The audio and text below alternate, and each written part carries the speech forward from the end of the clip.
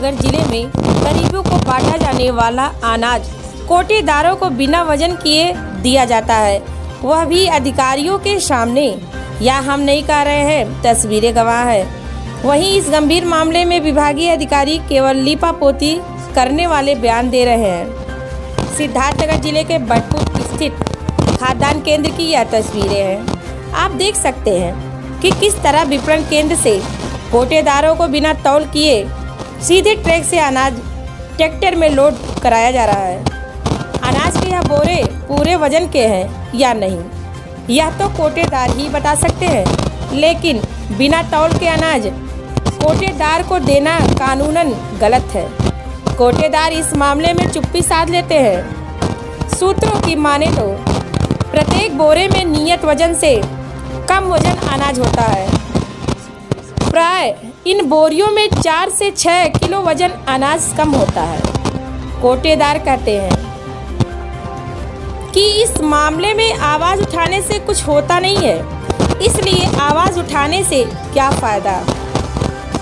वहीं इस मामले को लेकर जब हमने विपणन केंद्र के S M I Arvind Gautam से हमने पूछा तो उन्होंने यह स्वीकार किया कि सीधे ट्रक से ही कोटेदार को अनाज सौंप दिया जाता है। जब हमने कहा कि अनाज तो तौल कर देना चाहिए तो उनका जवाब था कि उसमें समय अधिक लगता है। इसलिए सीधे एवरेज तौल के आधार पर सीधे दे दिया जाता है।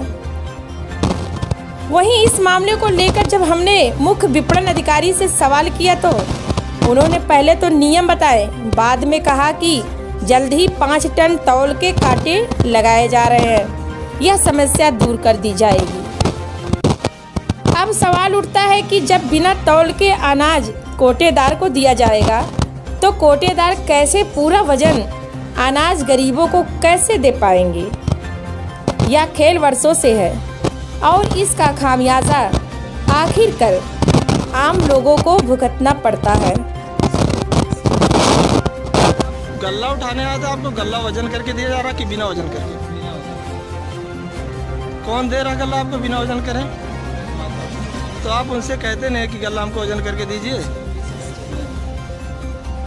कितना किलो का गल्ला मिलता है आपको? किलो पे है?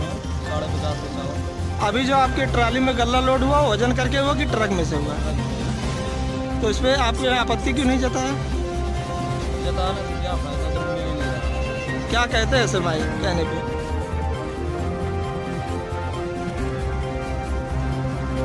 गल्ला कहाँ से उठाए हो?